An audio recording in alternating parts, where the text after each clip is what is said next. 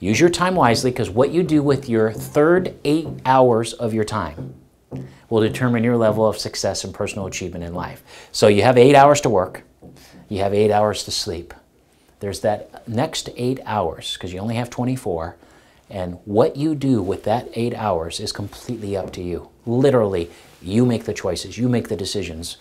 And they can either empower you, they can either help you move towards your definite major purpose, or you can squander them, you can waste them, you can completely do things that don't mean anything for your life and do not benefit you in any way, shape, or form. And I think you know what a lot of those things are. I'm not going to get into that. You have to make that decision. You have to make those choices. But I really want to encourage you use your time wisely. Spend those third eight hours of your time doing the things that need to be done to move towards your definite major purpose in your life, to improve yourself, develop yourself, be better today than you were yesterday.